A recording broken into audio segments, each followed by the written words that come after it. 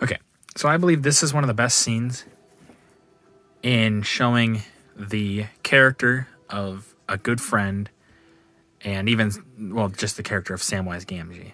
Um, I'm going to let this play a little bit and then I'll talk about it as well.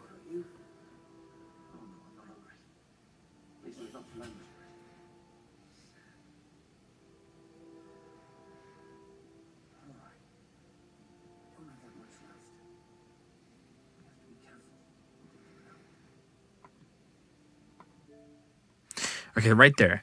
That shows like that scene is like really that just that little bit, and there, there's more that I'm gonna play, but just that little bit.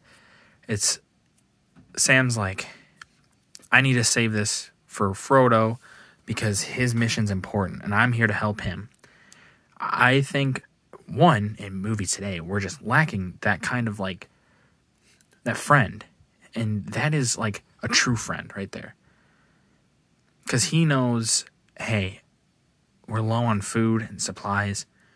And I know that I should eat, but my friend needs this. His burden is impossible. And here's Sam just doing a small thing to help prop up his friend. And the next bit, I think, shows even more that this is a friend that he'll be there till the end.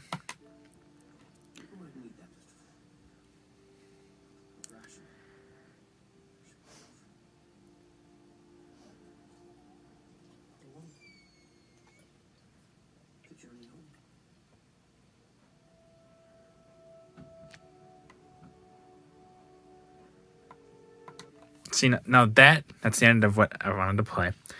That was a that is a really great scene because it, and this is just my opinion. I'm sure many people would agree with me, but that scene is so great for one thing in that it's darker. The days are like before this. It just says, "Oh, the days are darker," and things just seem so dark and bleak.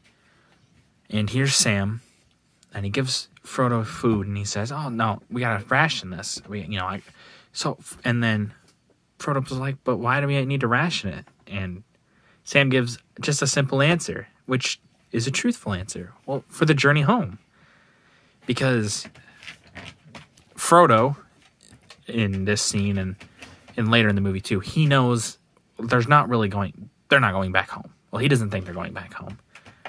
There's no going back home. But Sam he's like, "Of course we're going back home. We we got to go back home. That's home."